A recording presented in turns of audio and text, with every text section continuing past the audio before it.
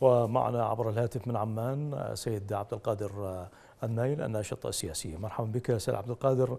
إذا يوم ثان من حظر التجوال في قضاء الطارمية.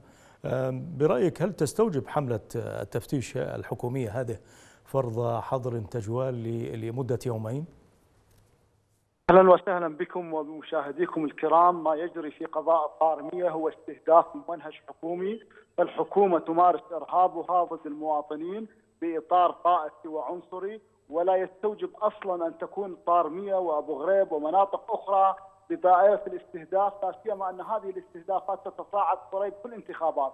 لكنهم يستهدفون حزام بغداد بإطار طائفي ممنهج من أجل الضغط على أهلها وتهجير سكانها واستبدالهم بسكان آخرين لا سيما بعد القانون الذي منحه مجلس النواب بتوطين وقبول اللجوء للدول كإيران وأفغانستان وغيرها. وهذا حقيقة كله يراد منه أن يتم تجنيس غير عراقيين وبالتالي يتم الضغط على الأهالي الأصليين في هذا القضاء من أجل استبدال سكانه بسكان آخرين، فما يمارس في قضاء الطارميه ليس مبررا ولا يستحق أن يكون هناك أي حظر تجوال يعني هذه الحملة الهدف منها يعني ترتبط بالتغيير السكاني للقضاء وهذه المناطق؟ هذه الحملة هذه الحملة المتعمدة الحكومية ذات الطابع العنصري الإرهابي، إرهاب حكومة بكل معنى الكلمة يعتمد على الضغط على الأهالي من أجل أن يخرجوا من قضاء الطارمية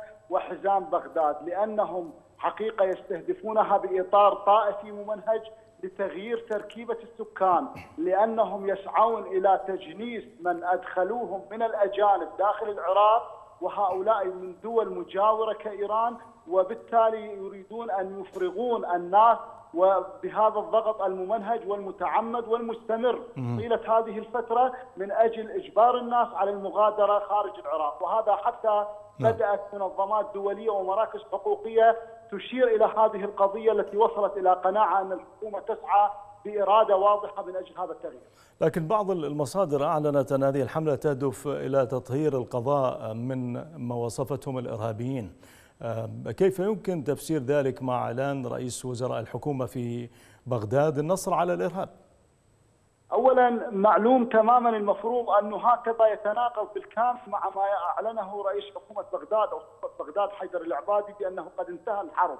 وثانيا كل الأمور تشير لا يوجد هناك أي أعمال مسلحة داخل قضاء الطارمية ولا محيطها والقضية الأكبر من هذه في هذا الإطار أنه إذا رأينا أو حسبنا مجموعة الحملات العسكرية التي تم التضييق فيها على قضاء الطارميه طوال هذه السنوات الثلاثة على أقل تقدير لوجدناها حملات كثيرة، هل يعقل أن هذه الحملات التي ربما تشير إلى أنها بالمئات وصلت؟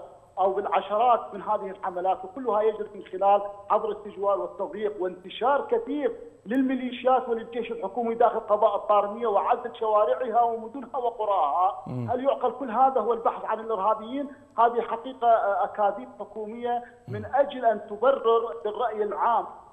أنها تبحث عن ارهابيين لكن في حقيقة الأمر أن هذا الأمر لم يعد ينطلي على العالم باسره بعدما أن تكشف وسائل الإعلام ما يجري من أمور طائفية عنصرية لهذه الحكومة نعم. تجاه سكان أصليين عراقيين وبالتالي أصبحت أهدافهم نعم. معلومة وواضحة المعالم. ليست الطارميه فحسب أيضا بدأت حملة على قضاء أبي غريب والرضوانية الغربية.